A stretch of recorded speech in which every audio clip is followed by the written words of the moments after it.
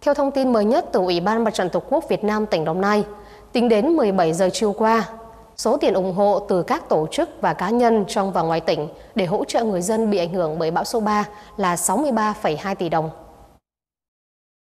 Các khoản đóng góp này được chuyển qua hai tài khoản đã công bố trước đó và được gửi trực tiếp đến Ủy ban Mặt trận Tổ quốc Việt Nam tỉnh Đồng Nai. Tổng cộng có 3.398 tổ chức và cá nhân đã chung tay ủng hộ, góp phần giúp đỡ đồng bào khắc phục khó khăn sau bão lũ.